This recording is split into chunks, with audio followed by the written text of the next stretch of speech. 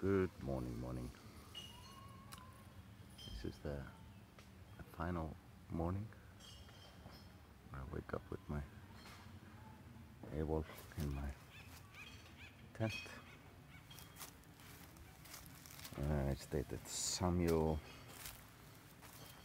P. Taylor Park. It's just outside San Francisco. And in a couple of hours, I'm gonna ride across the uh, Golden Gate Bridge and finish this journey. This is day number 15 on the bike. And 14 nights in parks like these. Amazing discovery, totally different from what I expected. A lot of nature and great scenery every day. And just all in all, an amazing adventure.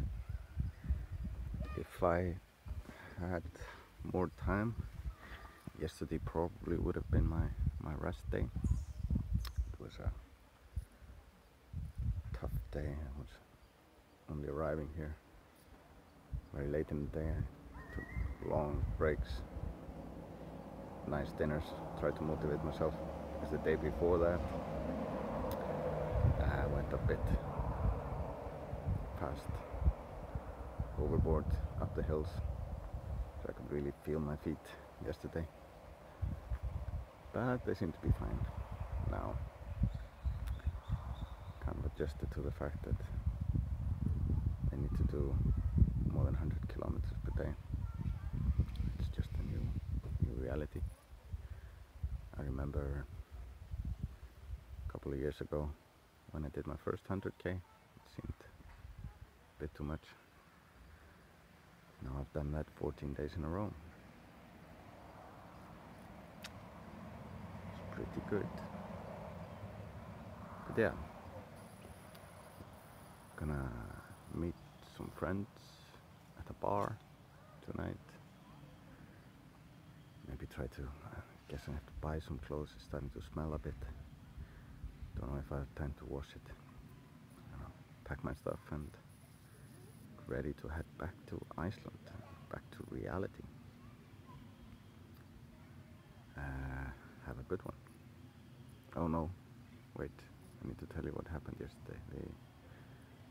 Uh, I met some good people at the, the camping site yesterday morning.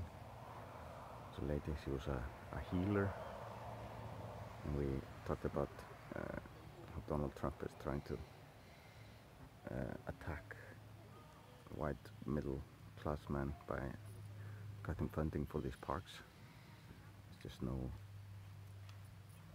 no limit to how much of an idiot that man can be.